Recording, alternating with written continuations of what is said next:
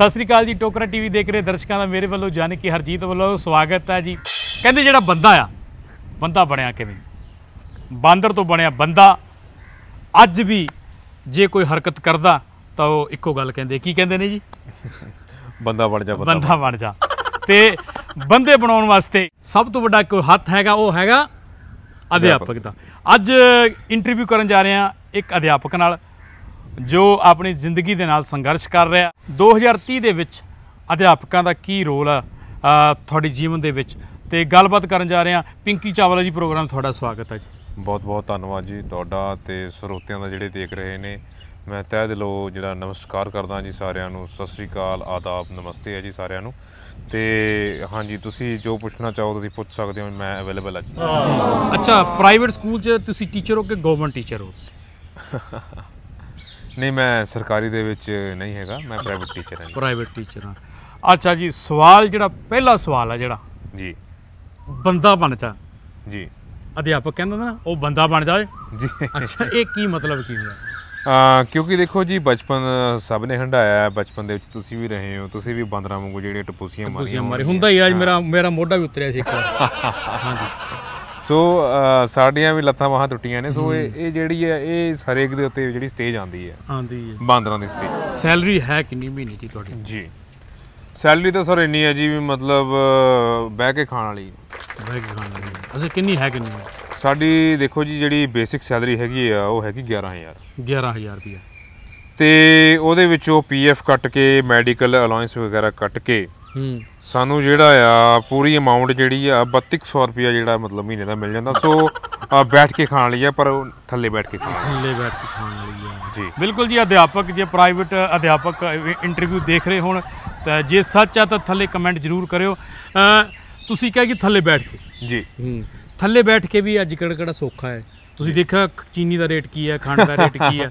ਨਹੀਂ ਦੇਖੋ ਮੈਂ ਪਹਿਲਾਂ ਹੀ ਮੈਂ ਸਪਸ਼ਟ ਕਰ ਦੇਣਾ ਚਾਹੁੰਦਾ ਵੀ ਘਰ ਦੇ ਕੋਲ ਗੁਰਦੁਆਰਾ ਸਾਹਿਬ ਹੈ ਤੇ ਲੰਗਰ ਛਕਣ ਮੈਂ ਜ਼ਰੂਰ ਜਾਣਾ ਜ਼ਰੂਰ ਜੀ। ਕਹਿੰਦੇ 2020 ਦੇ ਵਿੱਚ ਤੁਸੀਂ ਜਿਹੜੀ 10ਵੀਂ ਪਾਸ ਕੀਤੀ ਸੀ। ਹਾਂਜੀ। ਹਾਂਜੀ? ਜੀ। ਮੈਂ ਪਾਸ ਹੋ ਗਿਆ ਸੀਗਾ ਜੀ। ਅੱਛਾ ਜੀ। ਕਿਉਂਕਿ ਉਦੋਂ ਐਗਜ਼ਾਮ ਨਹੀਂ ਸੀ ਹੋਏ ਸਾਡੇ ਪੇਪਰ ਨਹੀਂ ਸੀ ਹੋਏ। ਹਾਂ।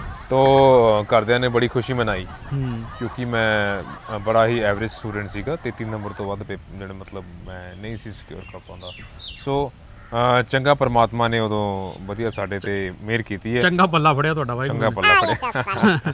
ਅੱਛਾ ਤੁਸੀਂ। ਪਾਸ ਨਹੀਂ ਸੁਣਾ ਨਹੀਂ ਤਾਂ ਨਹੀਂ ਮੇਰਾ ਬਹੁਤ ਔਖਾ ਸੀ।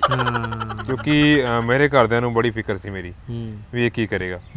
ਕਿਉਂਕਿ ਜਦ ਵੀ ਗਲੀ ਦੇ ਵਿੱਚੋਂ ਲੰਘਣ ਨਾਲ ਸਾਡੇ ਅ, ਕਰਮਪਾਲ ਜੀ ਕਰਮਪਾਲ ਭਾਜੀ ਮੈਂ ਅੱਜ ਵੀ ਉਹਨਾਂ ਦਾ ਬੜਾ ਰੇਣੀ ਆ ਉਹਨਾਂ ਨੇ ਬੜਾ ਕੁਝ ਸਿਖਾਇਆ। ਹੂੰ ਕੀ ਸਿਖਾਇਆ ਕਿ ਜੀ ਉਹ ਜੀ ਸਬਜ਼ੀ ਦੀ ਰੇੜੀ ਲਾਉਂਦੇ ਹੁੰਦੇ ਸੀ। ਹੂੰ। ਸੋ ਉਹਨਾਂ ਨੂੰ ਦੇਖ ਕੇ ਨਾ ਬੜਾ ਆਪਣਾ ਘਰਦਿਆਂ ਨੇ ਕੰਪੇਅਰ ਕਰਨਾ ਘਰਦਿਆਂ ਨੇ ਸਾਨੂੰ ਕਹਿਣਾ ਵੀ ਹਾਂ ਭਾਈ ਤੂੰ ਜੇ ਨਹੀਂ ਪੜੇਗਾ ਤਾਂ ਕਰਮਪਾਲ ਜੀ ਜਿਹੜਾ ਆ ਅਗਲਾ ਕਰਮਪਾਲ 2 ਤੂੰ ਟੂ ਬਣਨਾ। ਬਿਲਕੁਲ। ਅੱਛਾ ਜੀ ਤੁਸੀਂ 2020 ਦੇ ਵਿੱਚ ਜਦੋਂ 10ਵੀਂ ਹੈ ਸਰਕਾਰ ਨੇ ਸਾਰੇ ਹੀ ਪਾਸ ਕਰਤੇ ਸੀ 10ਵੀਂ ਚੋਂ। ਜੀ। ਠੀਕ ਹੈ ਜੀ। ਫਿਰ ਜਦੋਂ ਵਿਆਹ ਦੀ ਉਮਰ ਹੋਈ ਜੀ। ਤਾਂ ਕੋਈ ਇਹਦੇ ਵਿੱਚ ਸਾਹਮਣਾ ਕਰਨਾ ਪਿਆ ਮੁਸ਼ਕਲਾਂ ਦਾ ਤੁਹਾਨੂੰ? ਮੈਂ ਕਹਿੰਦਾ ਜੀ ਬਹੁਤ ਮੁਸ਼ਕਿਲਾਂ ਦਾ ਸਾਹਮਣਾ ਮੈਨੂੰ ਕਰਨਾ ਪਿਆ। ਹਾਂ ਹੁਣ ਤੁਸੀਂ ਇਮੋਸ਼ਨਲ ਨਾ ਹੋਇਓ ਸਰ ਮੈਂ ਦੇਖਿਆ ਕਿ ਤੁਸੀਂ ਇਮੋਸ਼ਨਲ ਹੋ ਨਹੀਂ ਸਰ ਇਮੋਸ਼ਨਲ ਹੋਣ ਵਾਲੀ ਗੱਲ ਵੀ ਹੈ। ਦੱਸੋ ਕਿਦਾਂ? ਉਤਾਰ ਚੜਾ ਬੜਿਆ ਹੈ ਸਰ। ਸਭ ਤੋਂ ਪਹਿਲਾਂ ਤਾਂ ਮੈਂ ਆਪਣੇ ਵਿਆਹ ਦੀ ਗੱਲ ਕਰਾਂ। ਹੂੰ। ਮੈਂ ਰਿਸ਼ਤਾ ਲੈਣ ਚਲਾ ਗਿਆ ਜੀ। ਹੂੰ। ਕਰਦੇ ਵੀ ਨਾਲ ਸਨ। ਨਾਲ ਸਨ। ਜੀ। ਉਥੇ ਮੈਂ ਬੇਇੱਜ਼ਤੀ ਦਾ ਨਹੀਂ ਐਨਕ ਲੱਗੀ ਹੋਈ ਹੈ। ਸਰ ਹੱਥੋਂ ਨਹੀਂ ਆਉਣੇ ਹੈਗੇ। ਕਿ ਸੀਂਡ ਬਾਹਰ ਆ ਜਾਂਦਾ ਜੀ। ਨੱਕ ਵਗਦਾ ਜੀ। ਹੂੰ। ਠੀਕ ਹੈ ਜੀ। ਨਹੀਂ ਮੈਨੂੰ ਗੱਲ ਕਹਿੰਦੇ ਆ ਛੋਟੇ ਛੋਟੇ ਛੋਟੇ ਛੋਟੇ ਬੱਚੇ ਹੂੰ। ਦੱਸੋ ਮੈਨਰਸ ਮੈਨਸ ਨਹੀਂ ਹੈ ਕਹਿੰਦੇ ਭੂਆ ਦਾ ਵਿਆਹ ਇਹਦੇ ਨਾਲ ਹੀ ਕਰਨਾ 2020 ਦੇ ਵਿੱਚ ਪਾਸ ਹੋਇਆ। 2020 ਦੇ ਵਿੱਚ 10ਵੀਂ ਪਾਸ ਹੋਇਆ। ਦੁੱਖ ਤਾਂ ਹੁੰਦਾ ਹੀ ਆ ਸਰ ਕੋਈ ਗੱਲ ਨਹੀਂ।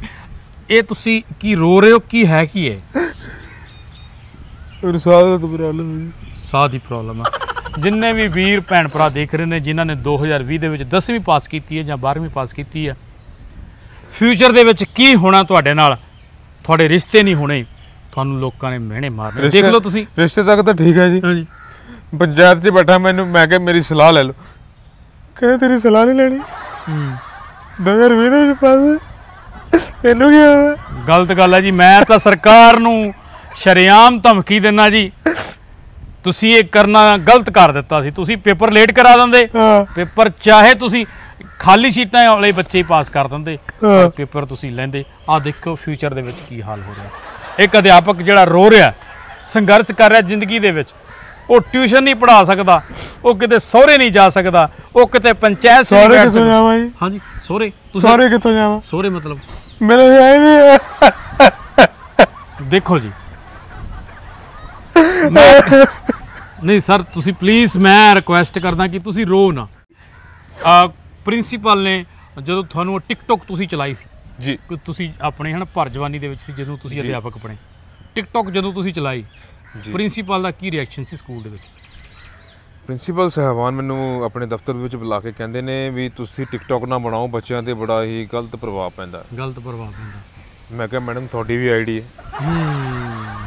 ਤੁਹਾਨੂੰ ਫੋਲੋ ਕੀਤਾ ਹੋਇਆ ਮੈਂ ਤੁਸੀਂ ਫੋਲੋ ਬੈਕ ਨਹੀਂ ਕੀਤਾ ਉਹ ਗੱਲ ਵੱਖਰੀ।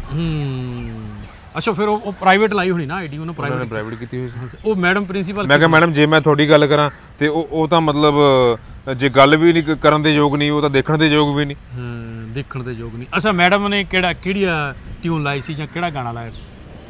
ਉਹ ਜੀ ਉਦੋਂ ਬੜਾ ਮਸ਼ਹੂਰ ਸੀਗਾ ਵੀ ਜਿਹੜਾ ਮੈਂ ਤੇਰਾ ਦੁਸ਼ਮਣ ਦੁਸ਼ਮਣ ਤੂੰ ਮੇਰਾ। ਮੈਂ ਨਾ ਗਿਣ ਤੂੰ ਸਪੇਰਾ। ਦੱਸੋ।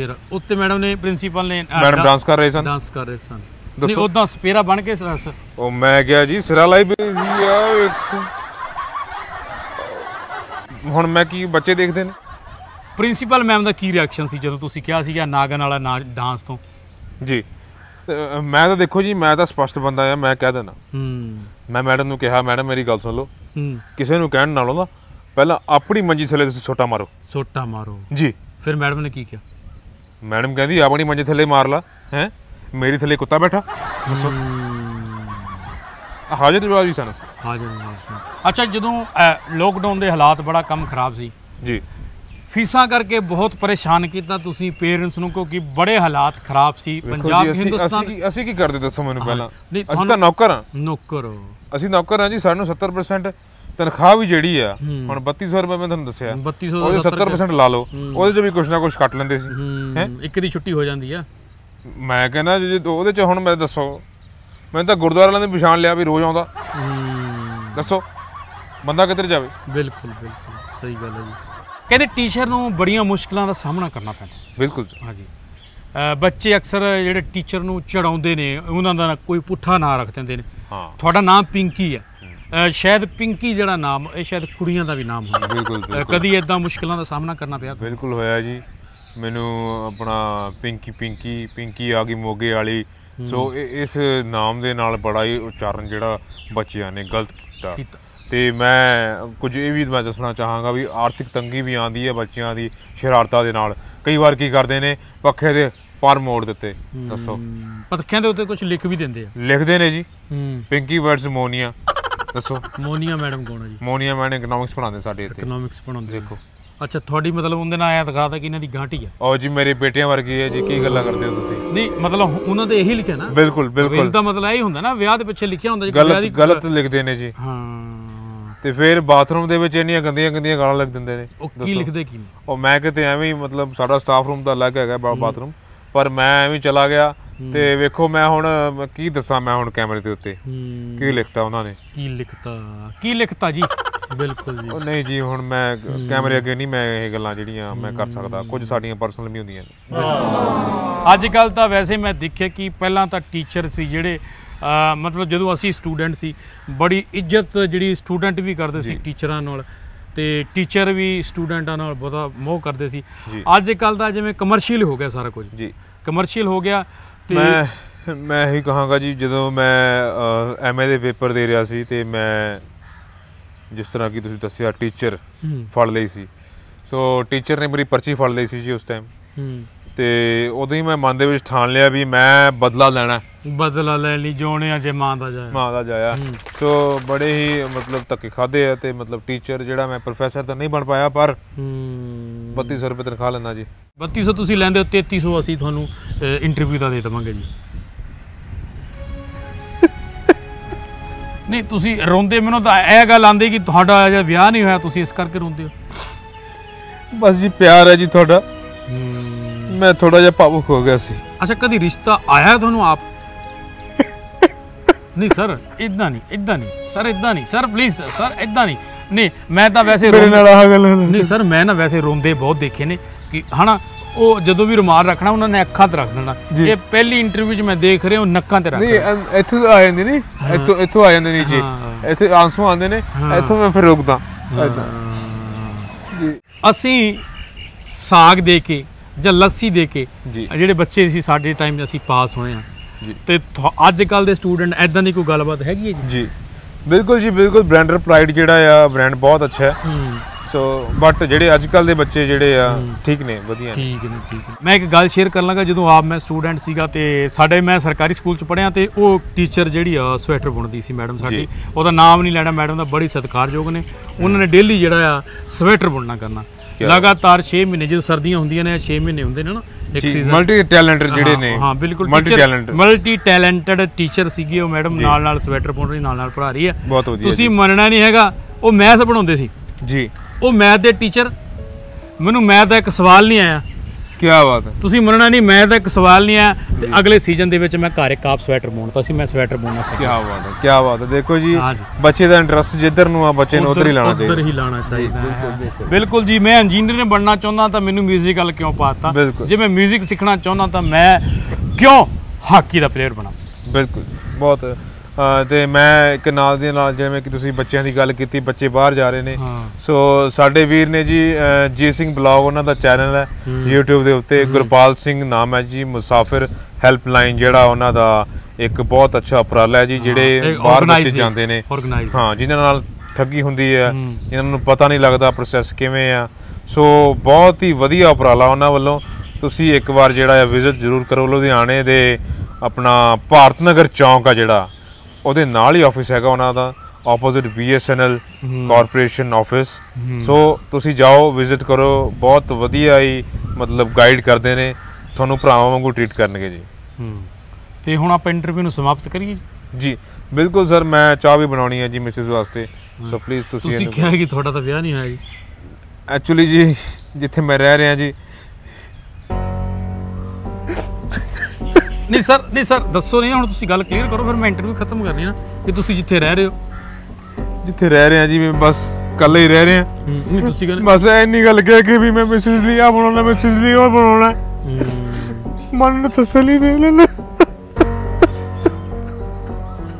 ਨਹੀਂ ਮਤਲਬ ਸਰ ਤੁਸੀਂ ਮਤਲਬ ਅੱਜ ਤੱਕ ਦੀ ਸਭ ਤੋਂ ਰੋਂਦੀ ਹੋਈ ਇੰਟਰਵਿਊ ਜਿਹੜੀ ਮੈਂ ਕੀਤੀ ਹੈ ਕਿ ਟੀਚਰ ਆਪਣੀ ਜ਼ਿੰਦਗੀ ਨਾਲ ਕਿੰਨਾ ਸਟਰਗਲ ਕਰ ਰਿਹਾ ਸਕੂਲ ਦੇ ਵਿੱਚ ਉਸ ਨਾਲ ਕੀ ਹਾਲ ਹੁੰਦਾ ਹੋਣਾ ਉਹ ਉਹ ਤੁਸੀਂ ਜਾਣੂ ਹੋ ਤੁਸੀਂ ਜਾਣਦੇ ਹੋ। ਕਈ ਸਟੂਡੈਂਟ 3300 ਰੁਪਏ ਦਾ ਵਾਅਦਾ ਕੀਤਾ ਜੀ? ਹਾਂ ਜੀ ਸਰ 3300 ਰੁਪਿਆ ਮੈਂ ਜਿਹੜਾ ਬਣਾ ਕੇ ਦਵਾਂਗੇ ਤੁਹਾਨੂੰ। ਜੀ।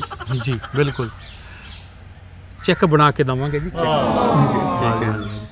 ਤੇ ਤੁਹਾਡਾ ਸ਼ੁਕਰੀਆ ਤੁਸੀਂ ਚੈਨਲ ਨੂੰ ਬਹੁਤ ਪਿਆਰ ਦਿੰਦੇ ਹੋ। ਤੇ ਜੋ ਜੋ ਘਟਨਾਵਾਂ ਤੁਹਾਡੇ ਨਾਲ ਸਕੂਲ ਦੇ ਵਿੱਚ ਹੋਈਆਂ ਨੇ ਮੈਂ ਜਿੰਨੀਆਂ ਕਿ ਸਾਨੂੰ ਯਾਦ ਨੇ ਅਸੀਂ ਗੱਲ ਕਰਤੀ ਇੰਟਰਵਿਊ ਦੇ ਵਿੱਚ ਤੇ ਬਾਕੀ comments ਦੇ ਵਿੱਚ ਦੇ ਕਮੈਂਟ ਦੇ ਵਿੱਚ ਮੈਂ ਕੋਸ਼ਿਸ਼ ਕਰੋ। ਕਰਦਾ ਕਿ ਪੂਰੀਆਂ ਪੂਰੀਆਂ ਲੰਬੀਆਂ ਲੰਬੀਆਂ ਕਹਾਣੀਆਂ ਲਿਖ ਕੇ ਜੀ। ਭੇਜੋ ਕਮੈਂਟਾਂ ਦੇ ਵਿੱਚ ਕਰੋ ਤੇ ਵੱਧ ਤੋਂ ਵੱਧ ਸ਼ੇਅਰ ਕਰੋ ਲਾਈਕ ਕਰੋ ਤੇ ਸਬਸਕ੍ਰਾਈਬ ਕਰਨਾ ਨਾ ਭੁੱਲਣਾ। ਤੁਹਾਡਾ ਹੋਸਟ ਤੇ ਦੋਸਤ ਹਰਜੀਤ ਤੇ ਨਾਲ ਮੇਰਾ ਪਿਆਰਾ ਵੀਰ ਕੀ ਨਾਮ ਆਪਣਾ ਦੱਸ ਦੇ? ਮੇਰਾ ਨਾਮ ਸ਼ਰਨ ਹੈ ਜੀ ਤੇ ਮੈਂ ਬਾਈ ਜੀ ਦਾ ਸਾਥੀ ਹਾਂ ਤੇ ਟੋਕਰਾ ਟੀਵੀ ਦੇ ਅਸੀਂ ਦੋਨੋਂ ਹੀ ਨਾਮ ਮੰਦੇ ਕੀ ਕਹਿੰਦੇ ਹੁੰਦੇ ਉਹਨਾਂ ਨੂੰ? ਪੰਜਾਬੀ ਤੁਸੀਂ ਉਚਾਰਨ ਕਰੋ। ਹਾਂ ਨਹੀਂ ਮੈਂ ਸਮਝ ਗਿਆ ਬਾਕੀ ਮੈਂ ਦਰਸ਼ਕਾਂ ਨੂੰ ਨਹੀਂ ਸਮਝਾਉਣਾ ਚਾਹੁੰਦਾ ਇਹ ਗੱਲ। ਹਾਂ ਵੈਸੇ ਗੰਦੀ ਗੱਲ ਨਹੀਂ ਹੈਗੀ ਕੋਈ ਫਾਟੀ ਆਪਣੀ ਗੱਲ। ਤੇ ਧੰਨਵਾਦ ਜੀ ਸ਼ੁਕਰੀਆ ਜੀ। ਬਹੁਤ ਬਹੁਤ ਧੰਨਵਾਦ।